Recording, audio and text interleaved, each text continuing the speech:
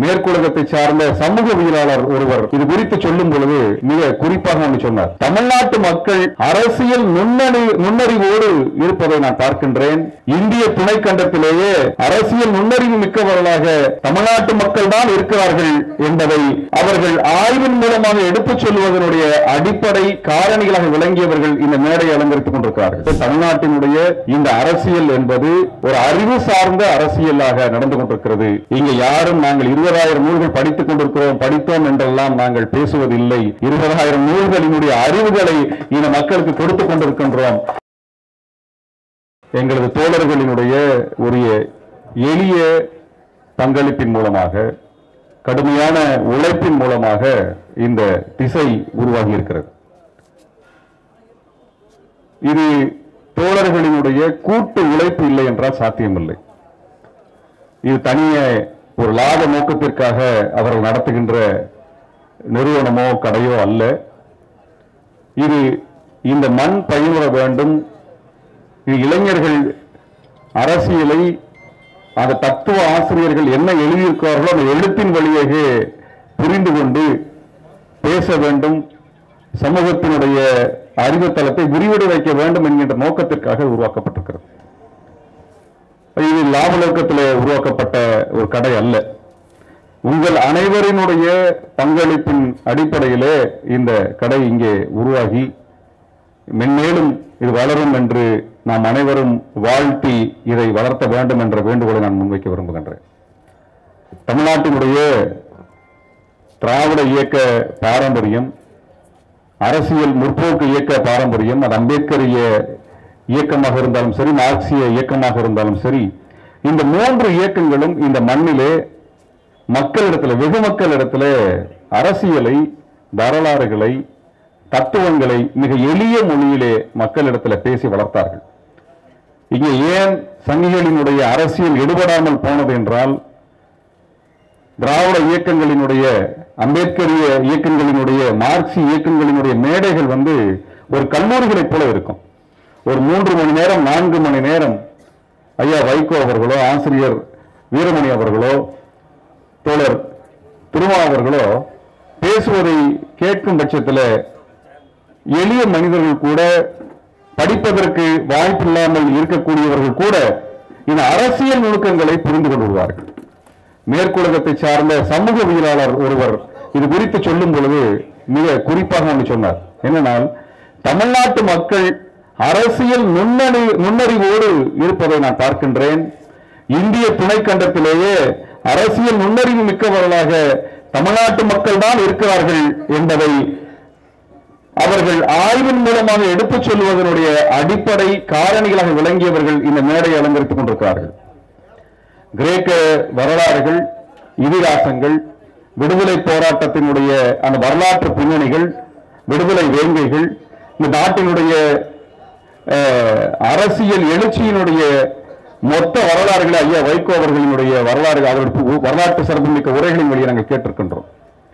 அதே போல இந்த சமூக சீர்திருத்தங்களினுடைய பெரியாரினுடைய கருத்துக்களை மக்களிடத்தில் இத்தனை ஆண்டு காலமாக எழுபது எண்பது ஆண்டு காலமாக கொண்டு செல்லக்கூடிய ஆசிரியர் அவர்களுடைய எழுத்தும் உரையும் அதே போல இந்த சமூகத்திலே புறையோடி போயிருக்கக்கூடிய நீண்ட காலமாக தீர்க்கப்படாமல் இன்று வரை நம்மை எல்லாம் சிதறடித்துக் கொண்டிருக்கக்கூடிய அந்த சமூக சிக்கல்களை குறித்து திருமாவளவன் அவர்கள் மிக தெளிவாக மிக நுணுக்கமாக நம்மளுக்கு வகுப்படுத்தார்கள். இப்படியான ஒரு தலைவர்கள் தலைமைகள் இந்த கடையை திறந்து வைத்து இளைஞர்கள் இதில் பயனுற வேண்டும் என்கின்ற நோக்கத்தின் அடிப்படையிலே தங்களது பொன்னான நேரத்தை ஒதுக்கி கொடுத்திருக்கிறார்கள். அந்த வகையிலே இந்த நிறுவனம் என்பது ஒரு வரலாற்று சிறப்புமிக்க நிறுவனமாக மாறியிருப்பதனுடைய அடிப்படை காரணம் இங்கே திரண்டிருக்கக்கூடிய தலைமைகள். இது மட்டுமல்லாமல் இங்கே சிறப்பு அழைப்பாளர்களாக பங்கெடுத்திருக்கக்கூடிய மரியாதைக்குரிய பேராசிரியர் அரசு அவர்களும் மரியாதைக்குரிய ஓவியர் டிரான்ஸ்கி மருவு அவர்களும் தோழர் அரங்க குணசேகரன் அவர்களும் தோழர் பொல்லினன் அவர்களும் தோழர் வாலாசா வல்லவன் அவர்களும் தோழர் முகமது முனீர் அவர்களும் தோழர் குடந்தை அரசன் அவர்களும் தோழர் நாகை திருவள்ளுவன் அவர்களும் தோழர் இளமாறன் அவர்களும் பேராசிரியர் தீபக் அவர்களும் தோழர் தபசிக்குமரன் அவர்களும் தோழர் குமரன் அவர்களும் தோழர் சுந்தரமூர்த்தி அவர்களும் ஏனைய அனைத்து தோழமைகளும் இந்த தோழர்களோடு அனைத்து வகையான அரசியல் போராட்டங்களில் பங்கெடுத்தவர்கள் சமூகத்தினுடைய சிக்கல்கள் குறித்து உரையாற்றியவர்கள் போராடுகின்றவர்கள் நூல்களை தொடர்ச்சியாக வெளியிட்டுக் கொண்டிருப்பவர்கள். ஆகவே தமிழ்நாட்டினுடைய இந்த அரசியல் என்பது ஒரு அறிவு சார்ந்த அரசியலாக நடந்து கொண்டிருக்கிறது. இங்க யாரும் நாங்கள் இருபதாயிரம் நூல்கள் படித்துக் கொண்டிருக்கிறோம் படித்தோம் என்றெல்லாம் நாங்கள் பேசுவதில்லை. இருபதாயிரம் நூல்களினுடைய அறிவுகளை இந்த மக்களுக்கு கொடுத்துக் கொண்டிருக்கின்றோம். அப்படிப்பட்ட ஒரு மூத்த தலைமைகள் இங்கே சிறப்பிக்க இப்படியான கடை திறக்கப்படுவதில் நீங்கள் அனைவரும் பங்கெடுத்த உங்களது பங்களிப்பு என்பது எங்களுக்கு மேலும் உற்சாகத்தை அளிக்கிறது. இந்த கடையை உருவாக்குவதற்கு உழைத்த அனைத்து தோழமைகளுக்கும் எனது வாழ்த்துக்களை தெரிவித்து விடைபெறுகிறேன். நன்றி வணக்கம். நூலகத்தை திறந்து வைத்து சிறப்பித்து விடைபெற்று சென்றக்கூடிய திராவிடர் கழகத்தினுடைய தலைவர் மாணமிகு ஐயா ஆசிரியர் அவர்களே திறந்து வைத்திருக்கக்கூடிய மறுமலர்ச்சி திராவிட முன்னேற்ற கழகத்தினுடைய பொதுச் செயலாளர் அருமைக்குரிய அண்ணன் இந்திய அரசியலின் மூத்த தலைவரில் உருவான இனப்போராளி ஐயா வைகோ அவர்களே ஐயா ஆசிரியர் அவர்களே இங்கே சிந்தனாருடைய சிலையை திறந்து வைத்து இங்கே மென்மேலும் சிறப்பித்து சிறப்பு செய்து கொண்டிருக்கக்கூடிய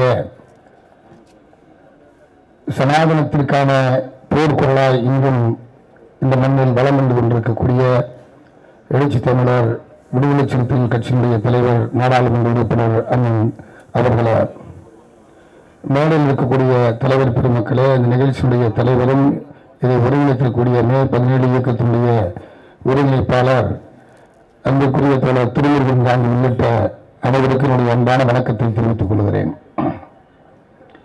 மே பதினேழுன்னு சொல்லவே பயமா இருக்கு இப்ப. ஏன்னா இடம் கொடுத்தவருக்கு தான் நன்றி. அவங்க எவ்வளவு கஷ்டப்பட்டாங்கன்னு எனக்கு தான் தெரியும். ஒரு கட்சிக்கு அலுவலகமோ இயக்கத்துக்கு அலுவலகமோ அல்லது ஒரு நூலகத்தை இங்கே வைக்கிறதுக்கு எவ்வளவு நாளாக இடம் தேடினப்ப திசைக்காக தான் கொடுத்துருக்காங்க. அதனால வேற அடையாளம் சொன்னா சிக்கலாயிடுறதால திசை என்கிற இந்த தமிழர்களுக்குடைய ஒரு திசை வழிகாட்டியாக கலங்கரை விளக்கமாக இன்றைக்கு இங்கே அமர்ந்திருக்கக்கூடிய இந்த நூலகத்தை ஒரு பெரும் அரிய பெரிய தேடி கண்டெடுக்க முடியாத பல பல்வேறு தலைப்புகளில் பல ஆளுமைகள் எழுதிய நூல்கள் இங்கே வரிசை கட்டி நிற்கிறது குவிந்திருக்கிறது. சனாதனத்தை இன்றைக்கு நாம் வீழ்த்துவதற்காக களத்தில் நிற்கிறோம். சனாதனம் நூல் என்கிற அந்த கயிற்றில் நிலைத்து நிற்கிறது. அந்த மனுநூல் பூநூலாய் நிற்கிறது.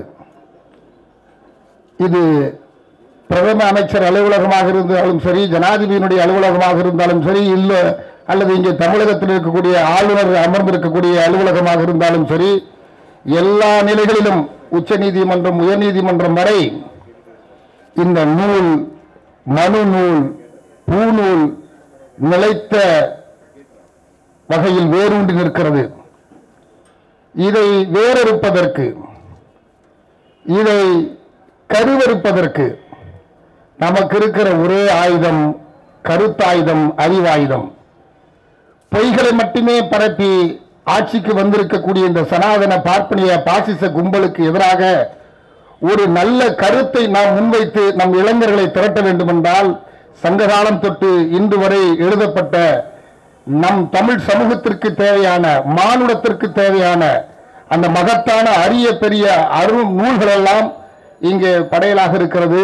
நாம் அனைவரும் அதை எடுத்து பயன்படுத்தி இளைஞர்களுக்கு எடுத்து சொல்வதற்கு அடுத்த தலைமுறைகளுக்கு வழிகாட்டக்கூடிய அனைத்தும் இருக்கக்கூடிய இந்த நூலை பெற்று இந்த திசை தமிழகத்தின் பல்வேறு திசைகளில் கடைகள் விரிந்து பரவ தமிழ் செம்மொழி போல நிலைத்த புகழோடு அது தலை தோங்குவதற்கு என் நெஞ்சார வாழ்த்து அவரோடு துணை நிற்கக்கூடிய தோழர் திருமுருகன் காந்தியோடு துணை நிற்கக்கூடிய ஏறக்குறைய எழுபது நூல்களுக்கு மேல் எழுதப்பட்டு அது பதிப்பகம் பெற்று அஹ், நிமிர் என்கிற பெயரில் நிமிர்ந்து நிற்பதைப் போல அது இன்னும் மென்மேலும் நிமிர்ந்து நிற்க நெஞ்சார விடுதலை தமிழ் புலிகள் கட்சியின் சார்பில் உங்களின் சார்பில் தமிழர்களின் சார்பில் வாழ்த்து விடைபெறுகிறேன். நன்றி வணக்கம்.